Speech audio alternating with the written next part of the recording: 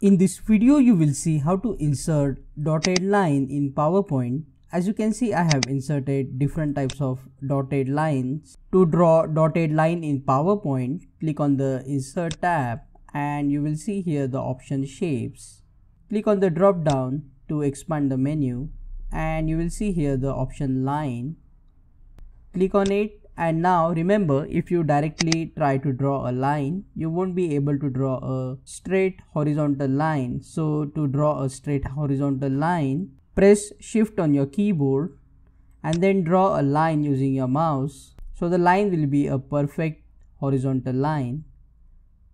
Now we can make this thin line a dotted line and can increase the thickness of the line. To do that go to the format shapes option.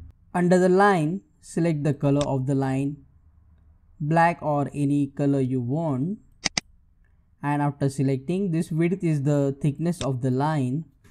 So at present it is 0.5 you can make it for example 2 points or maybe 5 points like this under the dash type.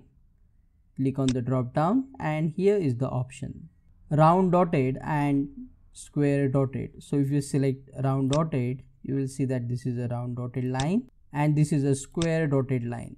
And to change the size of this line press shift again on your keyboard and now you can drag the line and can increase or decrease the size of the line. You can also make this horizontal line vertical like this and place it anywhere inside the powerpoint slide. Now check out these useful videos shown on screen related to powerpoint. Click on that like button comment below and let me know if this video solved your problem